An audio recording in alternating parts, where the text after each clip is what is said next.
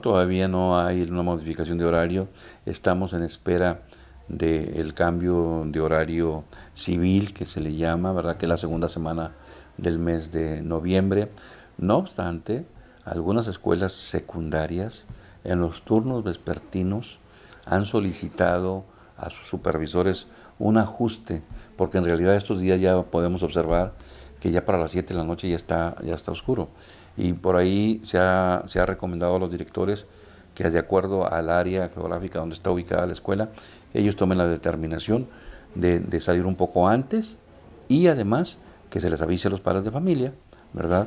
Y todo se hace en razón de cuidar de que los alumnos puedan transitar todavía con algo de luz a sus casas.